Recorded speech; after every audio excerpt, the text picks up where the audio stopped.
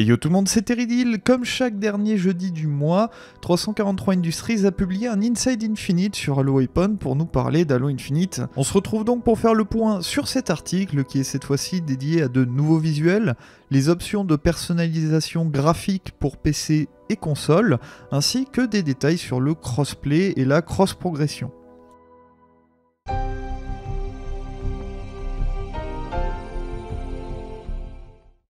Alors je ne m'attarderai pas plus que ça sur les images puisqu'elles parlent d'elles-mêmes.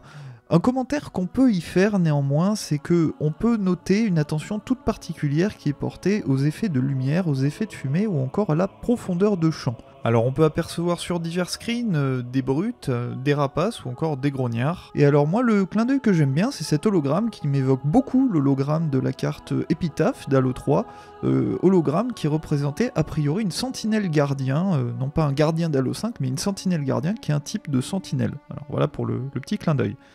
Alors revenons sur notre article qui fait un gros focus sur le support des diverses résolutions et formats d'écran. Les résolutions standards en 16 neuvième seront bien entendu supportées, mais ça ira assez loin puisque ça ira jusqu'à 32 neuvième, les fameuses résolutions ultra wide, et voire même encore plus loin. Il est précisé que ce type de résolution c'est extrêmement gourmand et euh, d'ailleurs les développeurs dans l'article insistent beaucoup dessus, puisque ça implique tout un tas de choses, à savoir la bonne gestion de la FOV, la bonne gestion de l'affichage des objets, mais aussi l'adaptation de l'ATH qui est parfois assez complexe. On peut imaginer d'ailleurs que sans le report d'Infinite, ce type de résolution n'aurait tout simplement pas été supporté.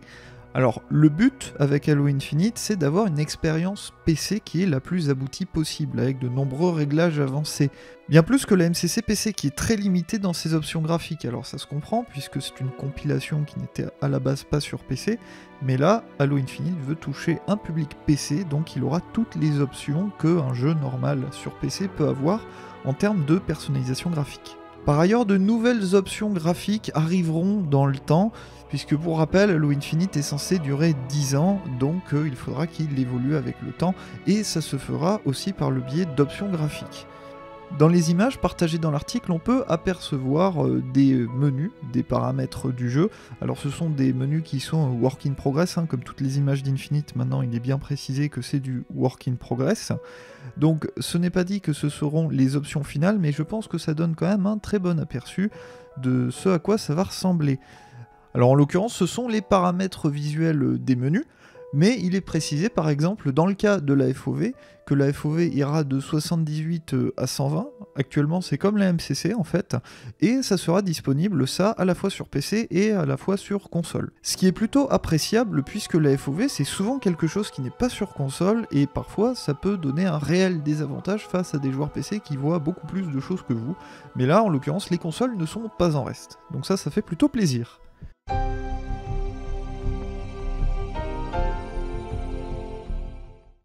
Alors passons maintenant à la deuxième partie de l'article, si on peut dire, qui est plus axée sur le crossplay et le système de multijoueur. Tout d'abord, le crossplay, la cross-progression sera disponible entre console et PC pour le multijoueur. Pour la campagne, ça n'a pas été annoncé, ce n'est pas dit qu'elle n'y sera pas, mais ça n'a pas été annoncé. Beaucoup de sites de jeux vidéo généralistes se sont trompés en relayant cette information d'ailleurs, puisque on ne sait pas s'il y aura du crossplay, de la cross-progression campagne entre console et PC, ça il faut le dire. Néanmoins, pour le multijoueur qui sera lui bien crossplay, il y aura de nombreux moyens pour que les joueurs se rejoignent, que ce soit par le biais du Xbox Live, euh, fraîchement renommé euh, Xbox Network, ou encore par le biais de Steam ou Discord, par le biais de mécaniques en jeu ou hors jeu puisque c'est vrai que c'est un petit peu compliqué actuellement pour se rejoindre quand on n'est pas sur les mêmes plateformes pour certains jeux, donc a priori euh, ils réfléchissent à de bonnes méthodes pour qu'on se rejoigne facilement.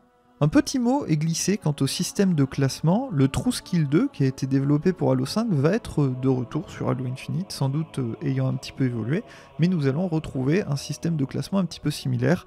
Alors c'est la mécanique qui permet de faire matcher les joueurs ensemble, on ne parle pas ici forcément euh, du système de classement d'Halo 5 à proprement parler, mais c'est vraiment la mécanique qui est derrière.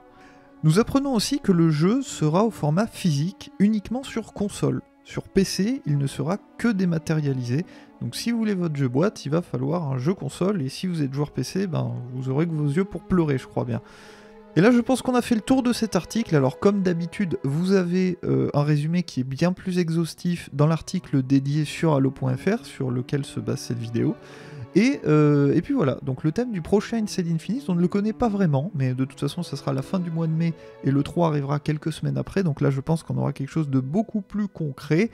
Donc, va falloir prendre son mal en patience. D'ici là, je vous dis portez-vous bien et bien entendu, vive Halo